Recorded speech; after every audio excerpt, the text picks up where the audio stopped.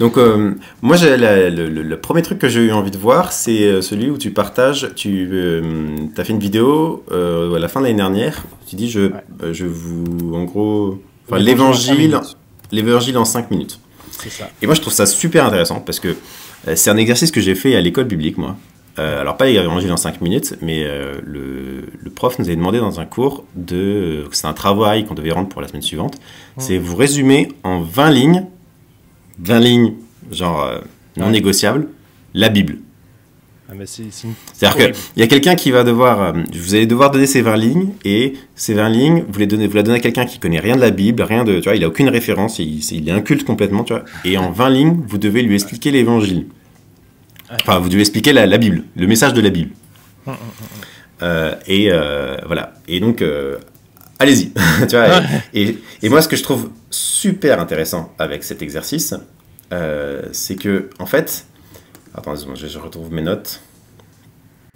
Euh, mais moi, ce que je trouve super intéressant avec, ces- avec cette- cet exercice, c'est qu'en fait, comme tu que 20 lignes, tu es obligé de faire des choix. Quoi. Tu sais, tu peux pas euh, partir dans un truc. Tu es obligé de faire des choix. Et donc, euh, et donc, la contrainte, donc comme toi, un peu ta contrainte de 5 minutes, tu vois, et ben, ça, fait, euh, ça fait apparaître euh, ce qui est vraiment important, en fait. Tu vois. Et tu es Mhm. obligé de faire des choix. De, voilà. Et ce qui est intéressant, c'est que ce- moi, après, j'ai beaucoup fait cet exercice-là avec beaucoup des étudiants que j'ai parce que je donnais pas mal de cours.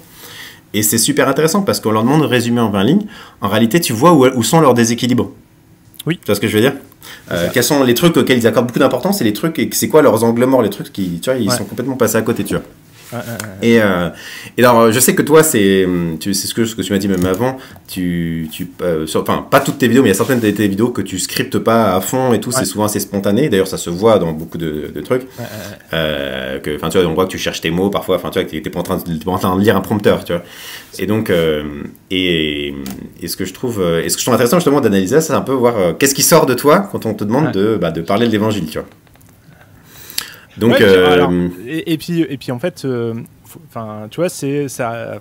Ce texte-là, enfin, ce, ce récit-là, il, il vient euh, à la fin du, la fin de l'année 2020, dans un contexte, euh, dans un contexte, enfin, euh, social qui est particulier. Après avoir fait un mois de vidéo, en fait, et, et je suis convaincu qu'aujourd'hui, si je refais une vidéo, l'Évangile en 5 minutes, je suis je peux, être, je peux être sûr en fait que peut-être que mon argumentaire serait différent.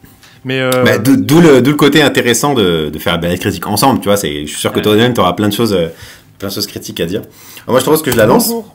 Si tu regardes cette vidéo, c'est que quelqu'un l'a partagée sur son mur et qu'il a envie de proclamer sa foi et de dire qu'il est chrétien. Alors j'aimerais te partager pourquoi c'est important pour nous chrétiens de partager l'évangile, pourquoi pour nous c'est primordial eh bien, de partager l'évangile. Nous croyons en Dieu, nous croyons qu'il a envoyé son Fils Jésus-Christ pour nous réconcilier avec lui et nous sommes chrétiens, c'est part de notre identité. Aussi bien que peut-être tu es papa, eh bien euh, je suis papa, mais je suis aussi chrétien et c'est aussi important pour moi d'être papa et d'être chrétien. C'est une part importante, voire primordiale de mon identité. Maintenant, j'aimerais t'expliquer pourquoi est-ce que nous croyons euh, en Dieu et pourquoi c'est important pour nous. Nous croyons que Dieu est notre créateur. Il est celui qui nous a créés. Il a créé la terre, il a créé l'univers, il a mis en place les étoiles, la lune, le soleil, il a mis en place notre environnement et la Bible nous dit qu'il a créé l'homme à son image. Nous étions en communion avec Dieu, saint et parfait comme Dieu est saint et parfait. Et nous étions en communion avec lui. Malheureusement, tu as peut-être déjà entendu parler de euh, cette histoire d'Adam et Ève qui ont désobéi en mangeant une pomme. Alors c'est pas une pomme, mais c'est un fruit.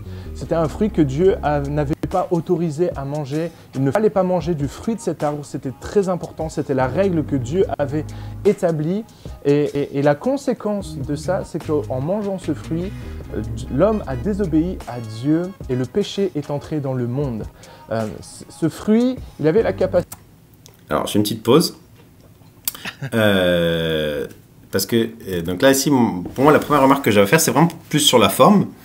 Euh, dans une présentation de l'évangile, est-ce que pour, pour- enfin, moi, je trouvais que ça, je trouvais ça pas forcément pertinent de commencer avec une, avec une approche historique, tu vois, un peu en bas. Au début, il y avait Dieu, puis il a créé le monde, puis ensuite, il y avait la chute, tu Mm. vois. Parce que je me dis, déjà de base, tu, Enfin, tu vois, tu, tu, te mets plutôt dans une position. Enfin, en tout cas, tu, tu brasses des questions. Tu amènes tout de suite des questions qui se tournent autour du créationnisme. Ah oui, mais attends, mais est-ce que c'est historique, tout ça? Enfin, tu vois. Euh, alors que pour moi, tu peux très bien expliquer la notion de. Euh, tu vois, je préfère partir du par, le problème de péché. Tu sais, par moi, si je parle d'évangile, ah bah, ça vous est jamais arrivé de faire des choses euh, et, puis vous avez l'impression, vous voulez, vous voulez atteindre un objectif et puis vous y, enfin, vous voulez faire quelque chose de bien, puis finalement vous y arrivez pas et vous avez. Ça vous arrive de sentir ça, tu vois? Et plutôt que de partir d'une approche historique où en fait tout de suite tu risques d'envoyer les gens dans des marécages, tu vois, du, euh, mhm. tu vois, du, du euh, ah mais euh, est-ce que c'est historique la Genèse? Et puis vraiment Dieu a créé le monde à 16 jours, enfin tu vois, partir du problème du péché, tu vois, qui évacue ces questions-là, tu vois, sans avoir cette avoir cette approche historique, tu vois. Et je me demandais que pour moi c'était un peu, enfin je trouve que c'était c'était un, je trouve que ça, ça, ça partait le risque que les gens ils partent, tu vois, dans les dans les la mauvaise direction, tu vois. Ouais. en fait, pour moi, ça me paraît important parce que au moment où tu vas parler du, de Jésus-Christ mort à la croix, si t'as pas expliqué c'est quoi le péché, euh, c'est compliqué. Enfin, tu vois, déjà d'expliquer pourquoi Jésus-Christ est mort. Enfin, tu vois, pourquoi est-ce que c'était nécessaire qu'il meure, en fait? Euh, tu vois, justement, dans le débat que j'ai eu avec théologie, euh, c'était c'était sur une vidéo sur par où commencer à lire la Bible. Et j'avais invité, moi, j'invite toujours les gens à dire, commencer par un évangile. Moi, j'aime bien celui de Luc parce qu'il est assez, il est assez complet, il est, il est bien écrit, c'est mhm. assez, c'est assez précis, tout ça. Et euh, il m'avait dit ouais, mais comment veux-tu que les gens comprennent les évangiles, comprennent le, sacrifice de Jésus-Christ, si ils n'ont pas lu l'Ancien Testament? Parce qu'en fait, euh, bah, pourquoi Jésus meurt? Parce que bah en fait il y a le péché. Et euh, pourquoi est-ce qu'il faut un sacrifice? Bah en fait il faut. Et pour moi il y a, y a, cette notion de bah il faut forcément essayer d'expliquer un peu l'histoire en fait. Pourquoi il y a le péché et, et qu'est-ce que ça implique en fait Oui, mais tu peux tu peux imaginer dans, cette approche là, tu pourrais dire bah tu vois en fait à cause de nos erreurs tu vois, à cause de, bah, de tout ce qu'on a fait de mal, bah, en fait, on a été éloigné de Dieu. Tu vois Jésus, bah, il est mort à la croix pour te sûr. Et entre guillemets, je dis pas que c'est, c'est pas pertinent de faire cette approche historique, mais dans, un, dans une première approche où là, par, même tu le dis au début, euh, tu sais, les gens, ils ont posté ça sur leur mur Facebook et donc les gens, euh, boum, ils m'ont ça dans la face. Pour moi, c'est, c'est pour moi, c'est, un risque d'envoyer des gens dans les sables mouvants, tu vois. Et qu'en gros, finalement, Tu sais, c'est typiquement, euh, tu sais, parfois ça t'est jamais arrivé, de, tu prêches sur quelque chose, et puis à un moment donné dans ta prédication, tu fais une petite parenthèse par un point un peu polémique, puis finalement à la fin de ta prédication, tout le monde parle que de cette petite parenthèse que tu as fait et pas de tout le message que tu as développé, tu vois. et tu te dis, en fait, j'aurais pas dû faire ça, tu vois, parce qu'en fait, j'ai emmené les gens dans des, tu vois, à partir dans des trucs, alors en fait, ils ont raté le point de ma vidéo, tu vois. Ouais, ouais, je suis et moi, c'est plus, comme je dis là, c'est pas vraiment une contextation sur le fond, tu vois, même si, enfin, je pourrais avoir aussi des accords parce que j'ai pas forcément une approche historique de jeunesse, tu vois. Mais je veux dire, même en, en, prenant cette approche-là, même si tu as une approche, tu crois un Adam historique, pour moi, c'est une mauvaise approche parce que tu risques d'emmener les gens dans des, tu vois, dans, tu vois, dans, à se perdre, tu vois, finalement. Ouais. Qui finalement, tu peux expliquer le problème sans faire cette approche historique, tu vois. Ouais. Après, j'aime bien, j'aime bien expliquer quand même aussi la notion d'un Dieu créateur. En fait, c'est euh, pourquoi, pourquoi est-ce que j'ai besoin de croire en Dieu en fait? Pourquoi est-ce que, enfin, finalement, est-ce que euh, bah, si j'arrive pas à faire quelque chose de bien, tu vois, il y a un truc en moi, une force et tout ça. Est-ce que, est-ce que euh, mais pareil, tu peux le prendre comme ça. Tu sais, Dieu, il t'a créé, tu vois, il t'a pas créé pour être mauvais, il t'a créé pour être bon, tu vois.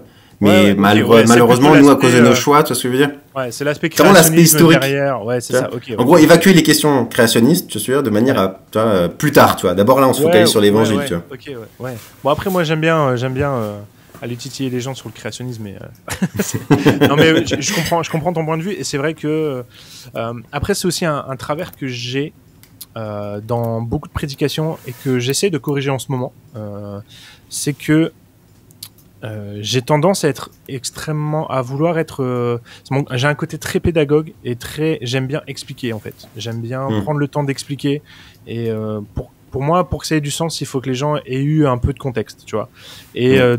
longtemps mes prédications sont, ont été des prédications qui ont été didactiques c'est-à-dire j'expliquais pourquoi ça pourquoi ça et, euh, et en fait, mon, mon, formateur actuel et mon président actuel et mon pasteur m'a dit, mais en fait, euh, le, il faut aller chercher le cœur des gens, en fait.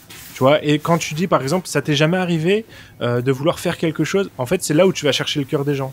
Ah bah ouais, mmh. ouais, tu, ah oui, si, ça m'arrive souvent, tout ça. En fait, c'est parce que tu arrives à faire cette démarche-là, d'aller chercher le cœur des gens, et c'est instinctif, ou alors c'est travaillé, mais en tout cas, c'est un travail que tu as dû faire, et, et à, l'époque où j'ai fait cette vidéo, j'avais encore du mal avec, euh, avec ce principe-là. Donc, euh, c'est mon côté très pédagogue en fait qui est, qui est, ressorti. Mais du coup, oui, je suis d'accord. Et puis moi, c'est après bon, moi, c'est moi. C'est pour enfin, question pour dire pour moi, par exemple, la question euh, qu'on interprète de manière littérale ou allégorique la Genèse, globalement, elle a la même, elle a la même, ça a le même sens, tu vois ce que je veux dire. Ouais, ça a la même Et donc, conséquence. enfin, ça c'est mon point de vue, tu vois.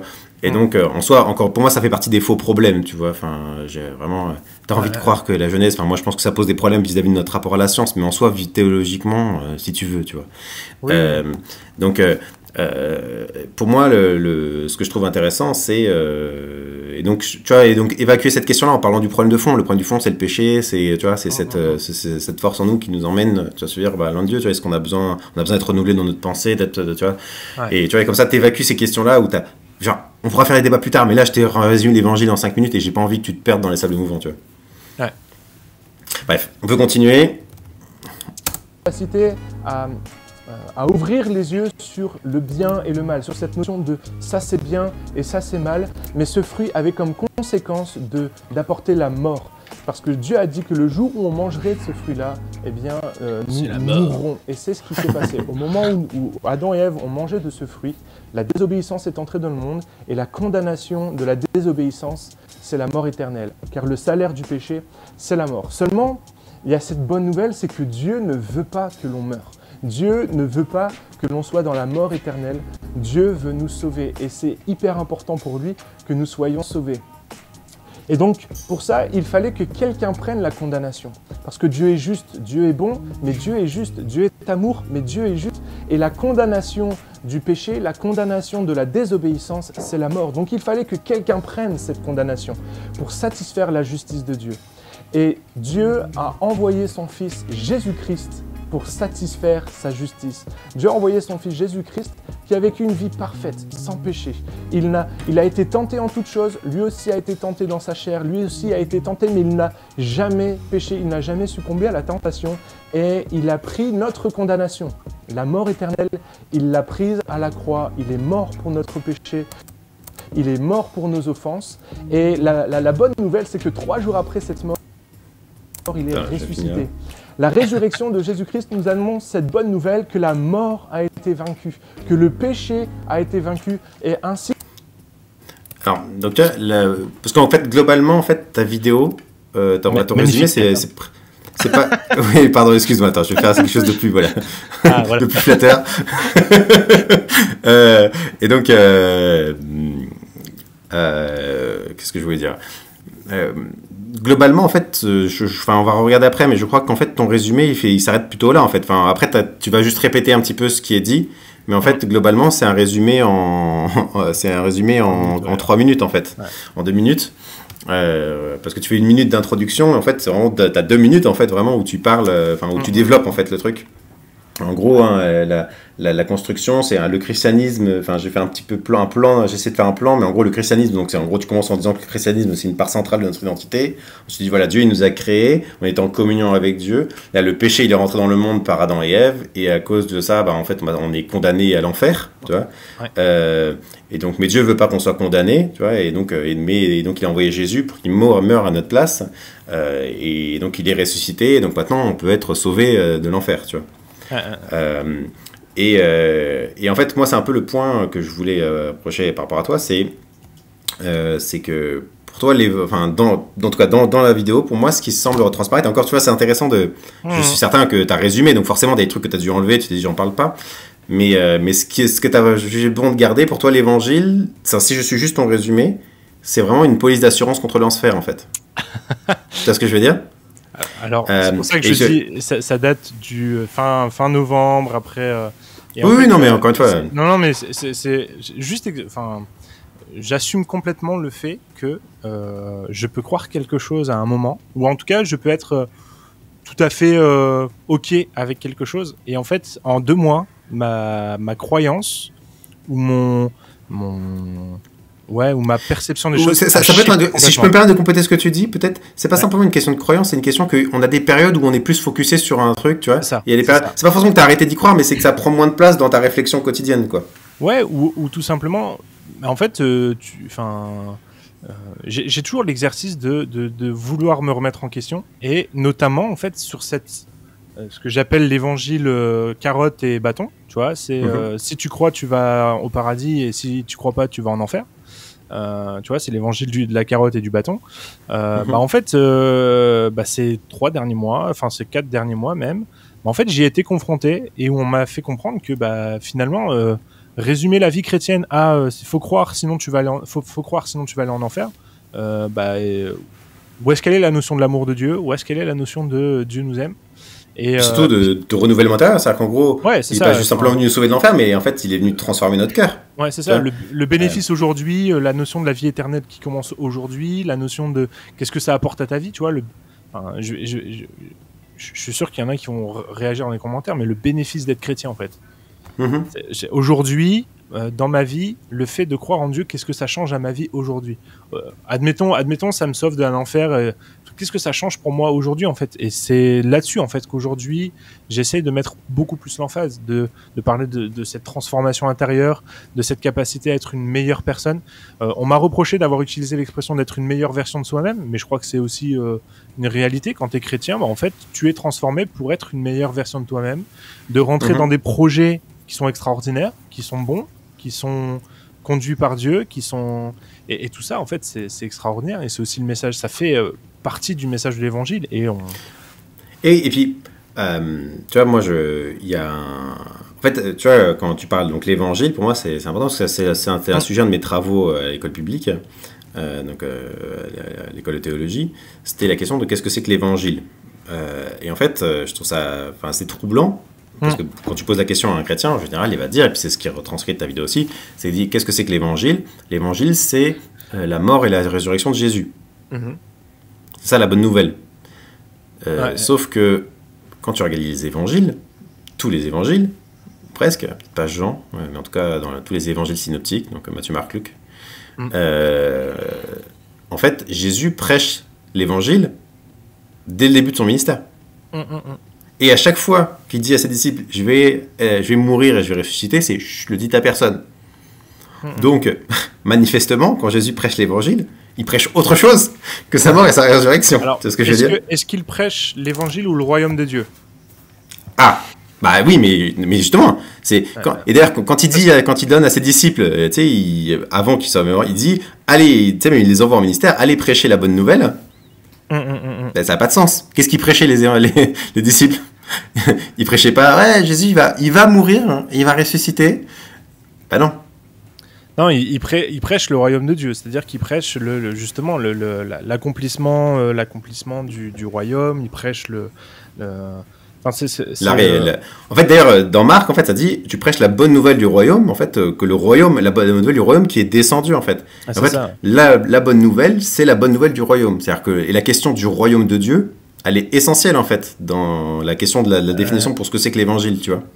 Ouais, ouais, ouais. Euh, de mon point de vue, en tout cas. Enfin, tu vois. Et donc- c'est- vrai que c'est. euh, Avoir un résumé de l'évangile en 5 minutes dans lequel il n'y a pas une seule mention du royaume de Dieu. Mais moi, je suis, moi, je me, là, je me, tu vois, je me dis, merde. ouais, c'est ce que j'ai. Ouais.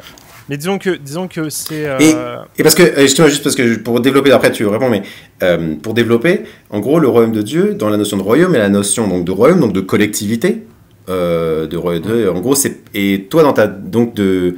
Euh, donc, une vision, quelque chose qui n'est pas purement individuel, alors que toi, dans la définition que, en tout cas, que tu fais en vidéo là, hein, euh, Mhm. je sais que les deux minutes là, c'est pas l'entièreté de ce que tu penses, mais, euh, mais dans, la, dans ce qui laisse transparaître, en fait, ça laisse transparaître un évangile qui est purement individuel, qui a rien à dire à la collectivité, tu vois. Alors que le royaume de Dieu, justement, enfin, l'idée de royaume, c'est quelque chose qui va au-delà de l'individu, qui parle à l'individu aussi, mais qui va au-delà de l'individu.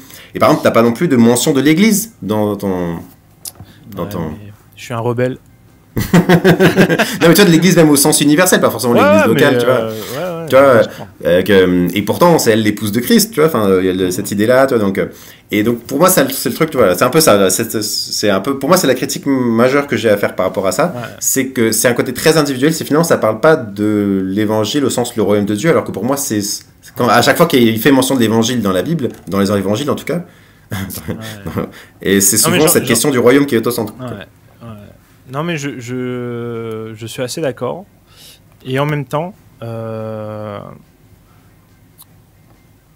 en, en même temps, je suis assez convaincu du fait que euh, la, la- pour qu'il y, ait- qu'il y ait cet aspect de la collectivité, du collectif, il faut d'abord qu'il y ait quelque chose qui soit vécu personnellement, en fait. Pour moi, tu Mhm. peux pas avoir, tu peux pas appeler les gens à vivre du collectif s'ils n'ont pas vécu quelque chose individuellement, tu vois. Mhm. Et euh, enfin, j'ai vu il y a pas très longtemps une vidéo d'une personne qui, euh, qui expliquait pourquoi elle avait quitté l'église et tout ça. Puis en fait, dans toute sa vidéo, elle n'a pas arrêté de nous expliquer pourquoi l'église, euh, l'église c'est pas bien, puis l'église ceci, et puis l'église. Puis en fait, j'ai écouté pendant, elle fait 30 minutes, tu vois, c'est 30 minutes de témoignage sur à quel point l'église c'est pas bien, la parole de Dieu, machin, tout ça. Puis en fait, au bout des 30 minutes, j'ai dit, mais en fait, elle a rien vécu avec Dieu. Elle a rien vécu de personnel. Mhm. C'est-à-dire que tout, toute sa foi était fondée sur du collectif, sur ce que Ouais. l'Église m'a inculqué, sur ce que la Bible me dit, sur ce que la croyance collective me dit, mais j'ai rien vécu d'individuel. Et pour moi, tu peux pas vivre du collectif si tu vis pas d'abord du- de, de l'individuel. Et, et je suis convaincu, tu vois, dans l'annonce de l'Évangile, c'est avant tout une rencontre personnelle avec Dieu et euh, une, une réconciliation personnelle avec son Créateur. Et la conséquence, c'est bah, euh, effectivement la, la, la, la collectivité, c'est la, la, conséquence, c'est ton implication dans le royaume et tu deviens, euh, voilà. euh, un Ouais, mais si t'avais fait une, si t'avais fait une vidéo où tu disais juste, euh, oui, l'église, l'église, l'église, le collectif, tu vois, puis que tu parlais au, Ouais. tu vois, de manière très globale, je t'aurais dit que ça manque de balance aussi, tu vois sûr, ça manque Ouais, d'équilibre aussi, que l'évangile, le royaume de Dieu, avant de, enfin, le Ouais. royaume, euh, avant tout, il s'établit en moi, tu vois sûr, avant de s'établir ouais. euh, au travers de moi, tu vois, c'est l'évangile doit passer par moi pour ensuite aller, tu vois, c'est inside out, tu vois. Euh, Ouais. et donc, euh, c'est donc ça, moi, je, je suis tout à fait d'accord avec ça. Euh, c'est juste que je trouve dommage que dans ta présentation de l'évangile, tu tu présentes même pas des lignes de fuite qui disent que bah tu vois cet évangile enfin apparemment il reste en moi puis même enfin dans ton truc c'est non seulement il c'est même pas il c'est même pas c'est même pas il vient en moi c'est presque le- c'est presque le royaume de Dieu c'est pas que le royaume de Dieu va descendre c'est presque le grâce à l'évangile et ben je vais pouvoir quand je vais mourir aller au royaume de Dieu. Alors que déjà la bonne nouvelle la bonne nouvelle c'est pas que je vais pouvoir monter vers le royaume c'est que le royaume est descendu vers moi. Tu vois ce que je veux dire? Ah, je et donc, et, et donc, non seulement il descend par moi, il descend en moi, et donc ça c'est la partie euh, personnelle, mais ensuite il se, il, se, il, se, il se déploie au travers de moi, tu vois. Ouais. Et, et pour moi, c'est, c'est- et c'est- et je trouve ça dommage qu'il n'y ait pas eu cette, euh, tu vois, cette, euh, cette, Ouais. euh, cette, ce, côté. c'est bien sûr normal, c'est que l'individuel, et je suis tout à fait d'accord avec toi. Mais il faut, pour moi, qu'il n'y ait même pas eu des lignes de fuite qui poussent vers. Ensuite, ça s'étend, tu vois, ça, ça va au- au-delà de moi. C'est ça que je trouvais dommage, quoi. Après, après je, je suis désolé à tous mes collègues pasteurs et tout ça, mais euh, le problème c'est qu'aujourd'hui, quand tu parles de l'Église, enfin, j'ai fait une vidéo d'ailleurs, euh, l'Église n'est pas l'Église, enfin, bon, elle a pas, pareil, elle a pas marché, tu vois, bon, bref. Mm. Mais euh, tu vois, c'est- qu'aujourd'hui, tu, quand tu parles de l'Église- systématiquement, c'est assimilé euh, au système. C'est-à-dire que tu, tu, les gens, tu leur dis, euh, ça serait bien, ça serait bien que, bah, tu sais, pour ta foi, pour le développement de ta foi, que, bah, que tu cherches une église, quoi. Ah ouais, non, moi, je veux pas aller, euh, tu vois, le système m'intéresse Ouais. pas. Enfin, tu- puis en fait, je le je te parle pas d'une association culturelle nécessairement. Ouais, c'est ça, voilà. Mais le problème, c'est que dans l'intellect, euh, et, en fait, aujourd'hui, Ouais. je suis un fervent défenseur de dire, mais arrêtez d'aller à l'église, arrêtez de, enfin, bon, je suis pasteur d'une église, je devrais pas le dire, mais, mais en fait, le, le- le but de votre vie chrétienne, c'est pas d'aller à l'église, en fait, c'est pas ça. Enfin, aller dans un, les systèmes religieux. But, c'est pas d'aller à l'église, c'est de vivre Ouais. l'église. c'est ça, c'est de vivre l'église dans ton quotidien. Et puis, puis en fait, euh, on, on est là ce soir, c'est l'église. Hein. On est deux, on Mhm. est deux croyants, deux chrétiens, et on aime le même Dieu, on sert le même Dieu, on parle des choses qui sont spirituelles. Bah, c'est l'église. Euh, pourtant, il n'y a pas, il y a pas une structure culturelle euh, qui nous encadre. Il y a pas, euh, il y a pas, euh, on n'a pas commencé par un moment de prière, puis on n'a pas fait un moment de chant. Enfin, tu vois. Et, et le problème, c'est ça, c'est qu'aujourd'hui, c'est ce que j'essaie, de- enfin, c'est ce que j'essaie de déconstruire dans l'intellect des gens, c'est que euh, il y, a, il y a une différence entre l'institution, le système religieux et, euh, et l'Église, quoi. Ouais. Et, et malheureusement aujourd'hui, euh, bah, quand tu parles de euh, ouais après tu vas vivre ta foi avec l'Église et tout ça, bah, les gens ils disent euh, bah moi si c'est pour aller euh, à l'Église catholique et puis euh, avoir un prêtre pédophile euh, en, en guide de guide spirituel, c'est pas la peine. Et j'ai pas envie non plus d'aller à l'Église euh, dirigée par un pasteur tout puissant, euh, bishop, euh, archibishop, euh, évangile de la prospérité. Et j'ai pas non plus envie d'aller dans une église avec un, un, un pasteur et une église de 50 mamies où je, je vais pas m'y retrouver, tu vois. Parce que Mhm. dans l'intellect des gens, aller à l'église, c'est aller dans le bâtiment euh, qui fait la messe le dimanche matin. Mais bon, après, je- j'entends, hein, je, je comprends, je comprends l'aspect. euh, mais euh, pour, pour expliquer, euh, pour, enfin, pour expliquer aussi le contexte de, de ce moment-là, c'est que clairement, à ce moment-là, j'étais plutôt dans l'optique de dire vivez l'Église. Essayons de vivre Oui, bah. l'Église tous les jours, tout le temps. Un Et, peu dans une période de confinement. Ouais, c'est ça. Et puis, euh, puis on était en période de confinement, il y avait ça. Et puis, et puis moi, j'avais, j'étais dans l'optique. Enfin, j'ai ouvert le Discord un mois après cette vidéo, et Mhm. j'étais dans l'optique de dire, on va, je vais montrer en fait aux gens que l'Église, ça peut aussi se vivre différemment que euh, au culte du dimanche matin et de la réunion de prière le mardi soir. quoi. Non, bah, Enfin, c'est- voilà. bon. Mais comme, comme le dit souvent mon, mon pasteur, de toute façon, une prédication euh, en 5 minutes, enfin, et en plus en 3 minutes, quoi, euh, c'est un parti pris. Hein, tu fais des choix et puis Ah oui, bah, c'est pas- ça que je trouvais intéressant justement. C'est justement pas du tout scripté, pas du tout, tu vois, c'est vraiment le ce qui est sorti euh, à ce moment-là. Mais ça je trouve intéressant parfois, de Ouais. voir ce qui sort spontanément, tu vois, c'est un ça. petit peu, c'est intéressant aussi, tu vois, de voir, parce que parfois quand tu justement quand tu prends le temps de scripter, tu te dis, ah, ok là tu, mais ce qui sort spontanément, c'est intéressant. En tout cas, c'est une, je trouve que c'est une photographie intéressante, euh, pas pas du Paul de ce moment-là, tu vois, Ouais, de ce qu'il avait en tête, tu vois. Euh, Donc, euh. Et, et mais je trouve ça assez symptomatique de euh, beaucoup. Enfin moi, je sais, j'ai fait, fait le ce résumé de 20 lignes, je l'ai fait faire à des, à des à des dizaines et des dizaines d'étudiants. Et c'est intéressant de souvent voir que y a la- c'est souvent très individualiste et la notion collective et alors, la notion du royaume de Dieu. Bye bye, tu vois. Ouais, ouais, bien sûr. C'est ce que je veux dire? Et que la notion du collectif, en fait, est finalement très, très absente, tu vois. Puis, ah, c'est Euh, renforcé aussi dans les mouvements évangéliques. On a cette fameuse phrase euh, "La foi, c'est pas une relation, c'est pas une religion, c'est une relation." Ouais. Donc forcément, c'est c'est comme c'est une phrase, c'est un leitmotiv dans. euh, bah, oui, puis fait, ça, on a euh, un discours qui est très individualiste. On va dire, euh, moi, je des gens qui disent, ah, la Bible, c'est la lettre de Dieu d'amour pour toi, tu vois. Si, Oui. Jésus, Ah. si Jésus, il était mort à la croix, euh, si Jésus, il avait dû, c'était le seul être humain sur terre, il serait quand même allé à la croix pour toi, tu vois. ah, tu vois, c'est à côté, tu vois, c'est très, c'est Dieu et toi, tu vois. c'est ça, Euh, c'est- pour toi. Il y a même pas la notion d'histoire. Tu vois, Mm. Euh, pour beaucoup de chrétiens, euh, ils ont aucune cu- beaucoup de chrétiens évangéliques, ils ont aucune culture historique de d'où ils viennent leur foi, aucune idée des 2000 ans d'histoire des chrétiens qui ont eu eux, de ce qu'ils ont fait, de ce qu'ils ont construit, tu vois. Euh, et donc c'est très et donc c'est très individualiste quoi, c'est moi et Dieu, tu vois. Mm, mm. Ouais, je suis d'accord. Alors qu'en réalité, on est on est l'Église, c'est une des plus grandes entreprises humaines, entreprise au sens, pas au sens Mais capitaliste, hein, au sens d'individualisme. euh, tu vois c'est sûr, euh, voilà, entre, entre, en rempli d'individus, mais c'est la plus grande entreprise humaine. Enfin, c'est, une des œuvres collectives les plus monumentales de l'histoire de l'humanité. Tu vois ce que je veux dire? Ouais, je suis, non, mais je, suis- je suis complètement d'accord. Je, je suis. Je, je, pour, ouais, je suis d'accord. Mais je pense que contextuellement parlant, à ce moment-là, dans la Mhm. vidéo, euh, clairement, c'était pas du tout mon optique de dire allez, allez à l'église. Euh, tu vois, euh, dans. Enfin. Je- moi, je suis, je suis un meurtri des églises. Hein. euh, Je suis pasteur dans les églises, mais euh, je le dis souvent, c'est. euh, bah, c'est une grâce en fait hein, que je sois pasteur dans ces églises-là parce que je suis. ouais, cette vidéo. Ouais, ouais. Mais Ouais, euh, euh, voilà, enfin bon, c'est juste redire, redire ça, c'est qu'il y a un contexte aussi. Euh, et comme et comme c'est pas scripté, tu vois, c'est pas, euh, bah c'est ça, c'est ce qui sort, c'est ce qui est dans mon cœur à ce moment-là, et c'est. Et puis encore une fois, euh, c'est- euh, il c'est s'agit, de critiquer euh, un contenu, pas euh, genre. Ça. Moi, je dis toujours, hein, tu, tu, tu, tu sais. euh, euh, tu sais toujours, tu ne sais que ce que tu entends, euh, c'est que deux minutes de Paul qui parle, tu vois, et donc, euh, enfin, c'est pas, encore une fois, c'est pas une critique personnelle, moi, c'était juste plus, encore une fois, c'est une manière, c'est une, question de rebondir pour, euh, pour faire Ah, des remarques.